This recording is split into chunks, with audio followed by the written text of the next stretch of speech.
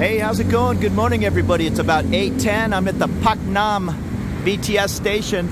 I just did a video walking from the Royal Thai Naval Academy down here to Pak Nam. We're very close to the Chao Phraya River. The, uh, the Naval Academy is on the river, so I'm assuming this college across the way, Samut Prakan Polytechnic College, is close to the Chao Phraya.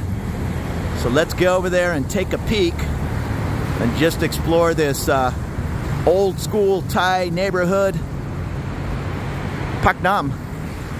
So looking off in the one direction on the riverside, we have a, a Wat.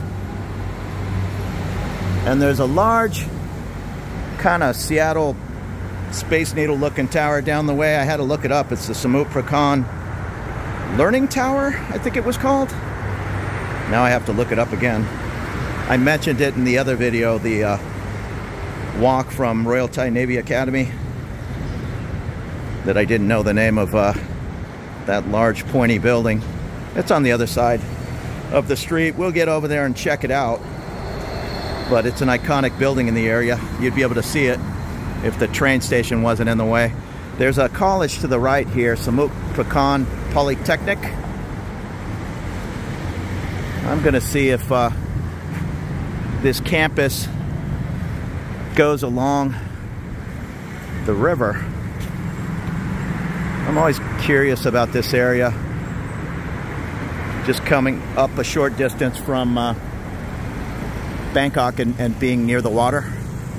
Yeah, I know you can hang out on the Chao Phraya around ICONSIAM and all that, but I'm just up for exploring new areas. Yeah, and if it does, it's more just for the students. Kind of a guard came right up on me. Uh, hey, can I help you? I said, no, I was just trying to get over to the river. And he just said, no can, no can.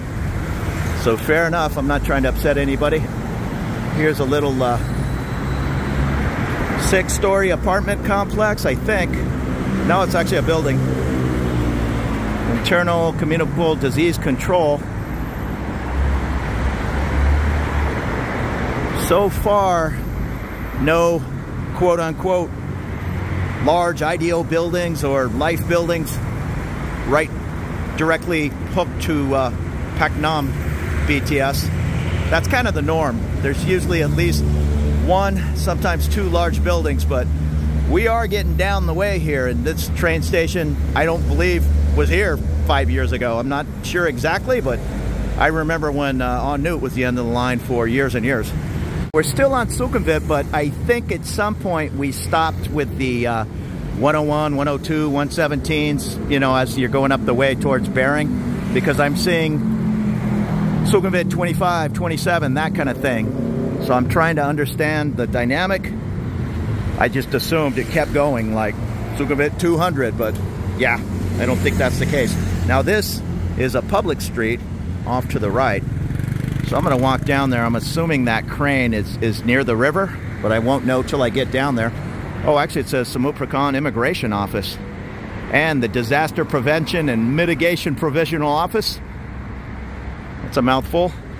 And that, I'm still trying to give you a shot of that uh, learning tower, but it's off in this direction. We'll get over there when we cross the street. Let's go over here and uh, try to find the river. And before anybody asks, I do not have the answer if this is a full immigration office. If you can come here because it's quieter. Oh, there's that uh, tower. Let me get the exact name here in a second. I have no idea. I'm pretty sure you have to go to the immigration office, which matches your address. In my case, it's the busy Chaeng Watthana in Bangkok. Perhaps you could come up here and, and do uh, pay the 1900 baht to get another 30 days, but I have no idea. I think you can do that at any immigration office, but I am not the person to ask. Okay, it says the Samut Prakan Learning Tower. It's 180 meters tall. It gives sweeping views of the Chao Phraya River, and it's a tourist attraction. However, it opens at 10 in the morning, and it's about 8.20, so I'm not sticking around till 10. But it is right here on the Pak Nam BTS if you want to come up and take a look. I try to be in air conditioning by 10 a.m. I don't mind getting out in here and walking uh, 10 miles, looking around, but uh, doing it in the heat of the day, and even right now at uh, whatever it is, 8.20 in the morning. Yeah, it's hot. Okay, I think that's the river right there. Oh, I'd be real interested if you can catch some kind of water taxi up here. I have, I have no idea how that works, but I'm sure they've uh, figured out how to use the Chao Phraya River for thousands of years to travel around. Pak Nam post office tucked away back here. And again, I don't uh, I don't do a lot of research. I do a lot of looking around and just kind of figuring out how how things go. I thought I listened to the Bangkok podcast. It's uh it's really good, Ed and Greg, and and I think they were talking about how they were surprised they don't use the river more for tourists, I guess. I mean, there's tourist boats up in the uh, Saphan Taksin area and all, but he says, I'm really surprised, you know, they don't have like a small cruise ship or something that wherever it would go from, down the Chao Phraya into the Gulf of Thailand, out to some close island, that kind of thing. He says, uh, they just don't do it so much. Here's a tugboat towing a barge. And I see some uh, tugboats up the way. Yeah, I'm a water guy. I lived on a half dozen sailboats over the years in between houses and uh, wives. but uh, anytime I can get out on the water, yeah, I'm comfortable. And this looks like it might be, uh, uh what do you call it, grayish Navy ship or maybe Coast Guard. I know the Naval Academy is just down the way. So let's walk down there and there, see if we can get a little peek. I'm sure they have uh, some kind of training ship for the midshipmen. Oh, I, I didn't notice, but here's a little uh, launching ramp it looks like they have some different cranes and uh, port operations down the way here, closer to. I'm assuming we're getting pretty close to the Gulf of Thailand. I know they have a large port up there by On Onut with uh, shipping containers and all, but I'm sure that's not the only game in town. Again, I see the telltale signs of uh, of a shipping port down the way. And I see a smaller uh, Pak Nam customs and boarding station. I know there's a huge customs building uh, over near where I live, kind of behind the Lotus on the Rama IV area. I'm on Soi 26. That's for the main port, I would assume. Yeah, so these all appear to be uh, customs boats. Head out and meet the large uh, freighters as they drop anchor here in the Phraya, waiting to waiting to pull in and offload. And it looks like they might be building another customs office. I'm not sure. Here's a gas pump.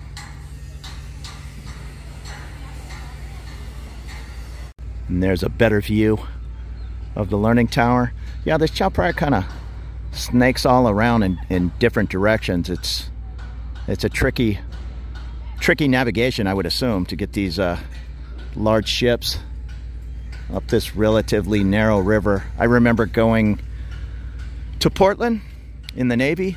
And is that the Willamette? I think it is. I, I know you come off the Pacific there around Astoria, Oregon. And Portland, I believe, is one of the furthest inland ports in the United States. So it's a, it's quite a navigational feat to get up these large rivers, you know, miles and miles inland.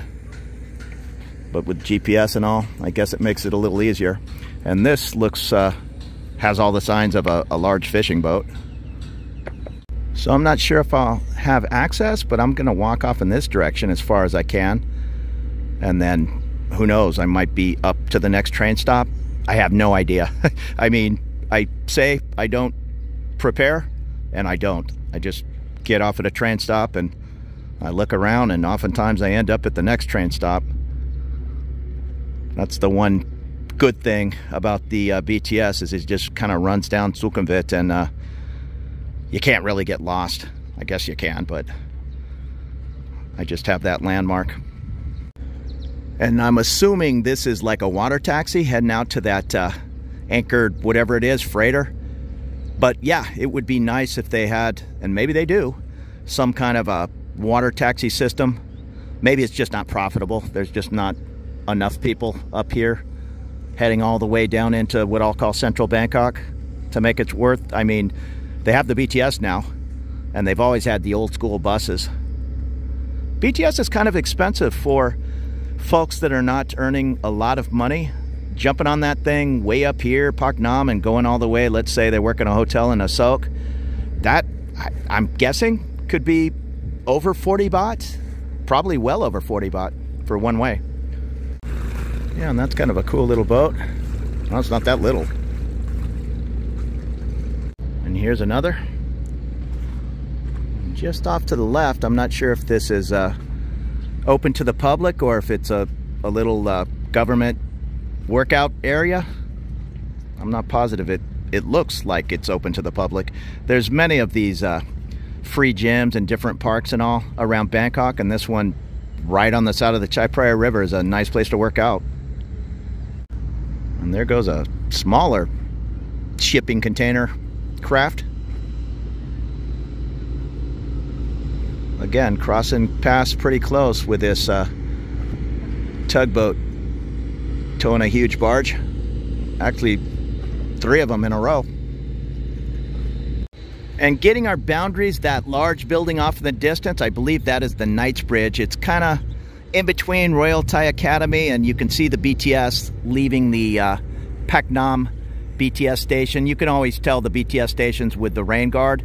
And those two older buildings off in the direction, that's really all I see around this Pak Nam area. So, so the Knightsbridge is probably your, your best choice for a nice building. And this is all in Thai. I'm assuming it uh, has something to do with the Chao Phraya River and all the water customs and things that are going on. It also said there was a customs office over here, so we'll walk down in this direction. But there's a statue over here. I'm gonna go check out. I hear uh, the signs of a 777 or something overhead. Uh, we're kind of off in the direction of uh, Suvarnabhumi, although it's kind of off in that way. Yes, it's all in Thai, but uh, that gentleman's definitely in a naval uniform. And again, this is all in Thai over here, so I'm assuming it's some form of government building. I'm going to walk off in this direction, but it looks like the water access stops down the way and, and it's just uh, private docks. And you can translate that if you'd like.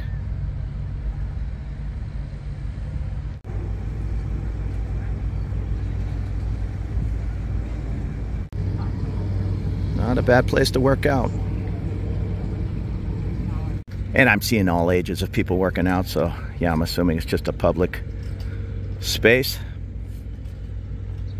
And as I suspected, I'm coming to the end of the line. I see uh, some different port operations down the way, but I'm going to be forced to uh, head back in this direction. So I'm going to head over towards that uh, learning tower, and maybe I'll be close to the next train station. I'm not sure. I'm not positive if I can get through this way. Of course, I could uh, look it up on Google Maps, but what fun would that be? I'd rather just kind of get lost around the neighborhood. I'm only going to get so lost with uh, with that as my landmark. I think that's right on or very close to Sukhumvit. And looks like we have a large police station across the way. I see a bus, so maybe I'm closer to Sukhumvit than I thought. And there's the Red Cross, Samut Prakan. And I've kind of tucked on my way back into this neighborhood. I thought I was a little closer to uh, to the train, but yeah, I think it is over there by the Learning Tower. So I'm gonna head across this crosswalk. There's a nice walkway, but it's closed.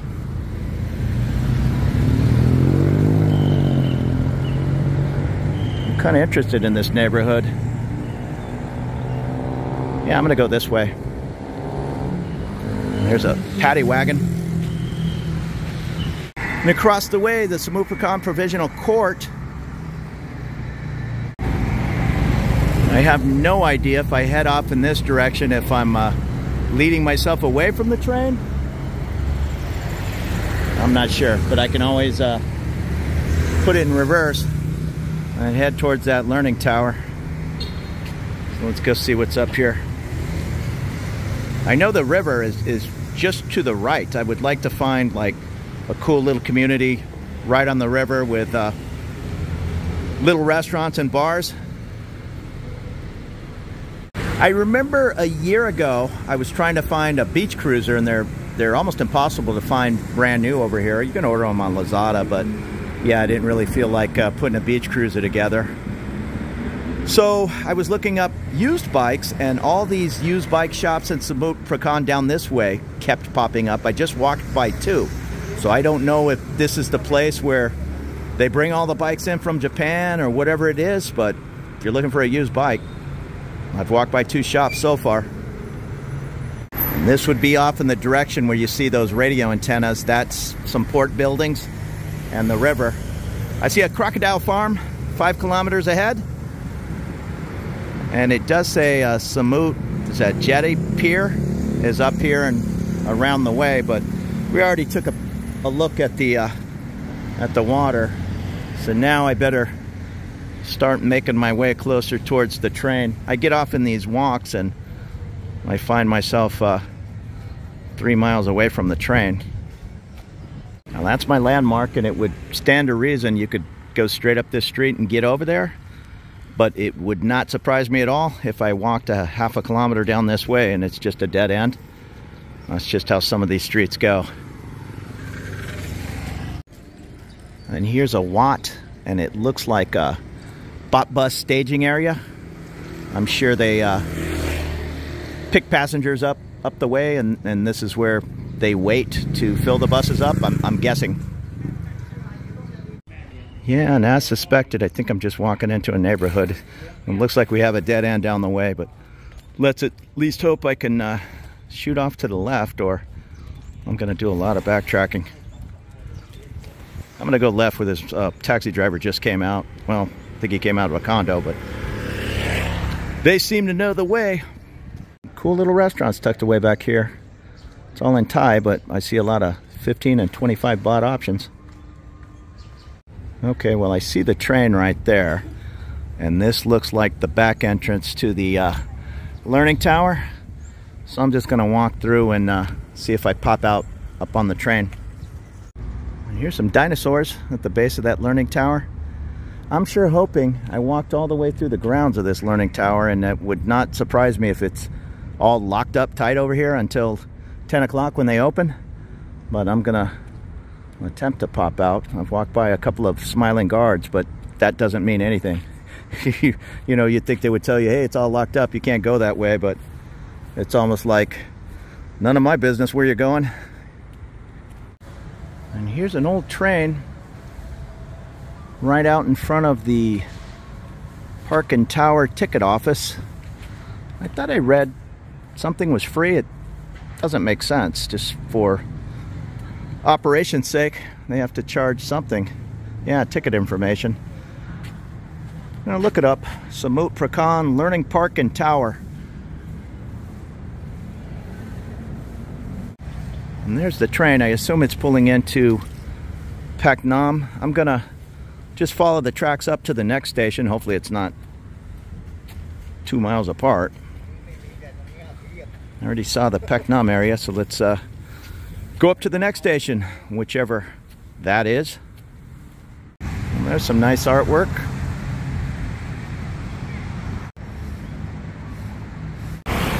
And if I'm correct, Pak Nam BTS is uh, about three blocks down that way. This is Sukhumvit. And I don't see another station. Maybe, maybe that's it. Uh, I see it like a crossover bridge. There's no large condos or anything on the side of either of these stations, but let's at least walk down this way. These large condos, they're not only for expats, I'd say they're 80%, if not more, maybe 90% Thais, but they're Thais that are making a little bit more cash, and they're probably doing that in more of central Bangkok. So there's just not as large a reason to build a huge Knightsbridge right on the, you know, whatever the BTS station is, 30 miles, 30 minutes outside of Asok, but eventually they will. motorbike service, tow car. Yeah, just like any big city in the world, it's just going to keep expanding. And the fact that they have this uh, beautiful train system at some point coming 30 miles, 30 miles, I keep saying, 30 minutes. I'm thinking like a, a California guy driving 30 miles to work is uh, average. But 30 minutes out here at some point is, is going to seem like a real bargain. And unfortunately, some of these more local buildings are going to be pushed out of the way and big, huge, fancy buildings right next to the train station are going to pop up. Made our way up to Sukhumvit Road 12. And this is off in the direction of the river. I'm standing at a motor taxi stand, racing people down the way. All right, well, there's a six story unit building. Not really close to any BTS station, but if you're living on a very, very fixed income and uh, as affordable as possible is more important than how close you are to the Terminal 21 in Asok. There are just so many options. You just need to get out here and explore. And there's a large 7-Eleven next to a small, smaller Mr. DIY. Mr. DIY is a cross between a 99 cent store and a Home Depot. You'll find all kinds of phone cables, screws, all kinds of hardware.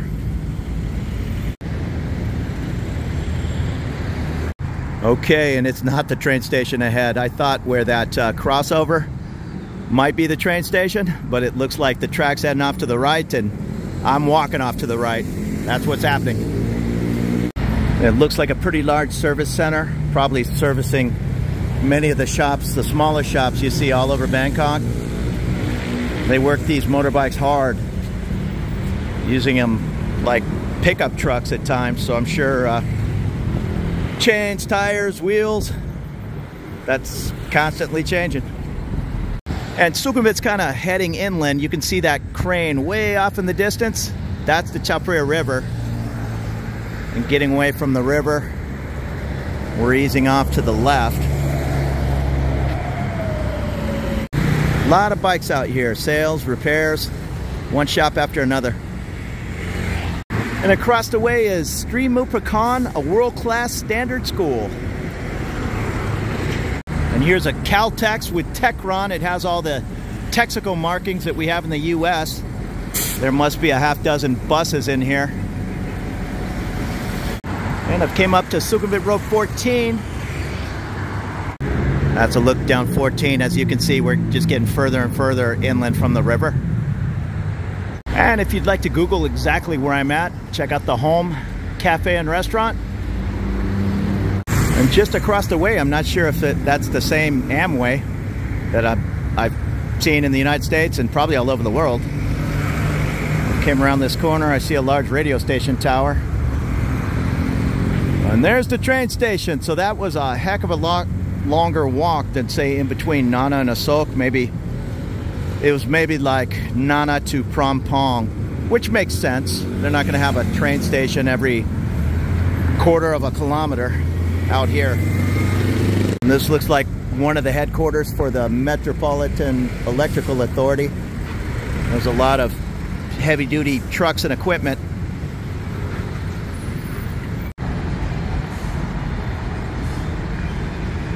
And this guy will probably help slow you down.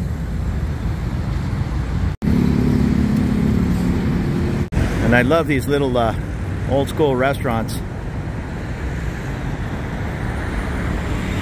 But we're getting up to the BTS station, whichever it is.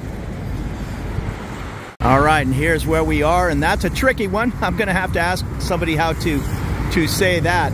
I try to give myself a half a pass on uh, some of these pronunciations. I mean, I know how to say Suvarnabhumi, I always had, and I heard somebody on YouTube the other day say, well, I just landed at Suvarnabhumiam or something, and yeah, I give that guy a pass too, because uh, The way Suvarnabhumi is spelled and pronounced are a little tricky, just like uh, this BTS station. So I'm going to ask a local if I can find one. It's pretty quiet over here before I even attempt that pronunciation. And I get it, I get it. The one guy who keeps leaving a comment, dude, dude, it's tonal. If you'd only understand it's a tonal language, you could totally say it. I'm much better than you. It's tonal, it's tonal. Take it easy, that guy. And I was just told to say Sinandagrin. Sinandagrin. Let me double check. Okay, maybe she said Sinagri. I'm asking the motor taxi driver. Anyhow, I'm sure I'm not coming close, and I'm sure I'll be corrected by Mr. Tonal Guy. But for the other 99.9% of us, just do the best you can to be respectful. Yeah, it'd be great if we all had time to master the Thai language, but shoot, I don't remember 99% of the other things I've learned in life. I used to know how to fly an airplane. I, I bet uh, I would be hard pressed to start an airplane today. That's just how it goes as you get older. Your brain gets wore out. As a matter of fact, if you're uh, 70 years old and mastering the Thai language, I'd be a little suspect. And I'm just kidding around. I'm sure there's some genius 70 year olds out there, but that's just not me or many of my buddies. We just do the best we can. And we're fine with that. This is looking down Sukhumvit. I am uh, getting a little tired. I've been out walking around since uh, about 6.45 this morning, so I really appreciate you watching. These looks around Bangkok and, uh, in this case, the Samut Prakan. I'm going to jump back on uh, the BTS. I think I, I think I am. And head back towards, uh, where am I going? Maybe Phrom Phong area. So you take it easy and have a great morning. I really appreciate you watching, leaving comments. I guess, except for the tonal guy. Even him. You can leave your you can leave your comments telling me I'm saying Sukhumvit wrong every time. Actually, it's Sukhumvit, Sukhumvit. You need to say it like a Thai person. Okay. And when he comes to California, I'm going to demand he says it's Los Angeles, not Los Angeles. You take it easy and have a good morning.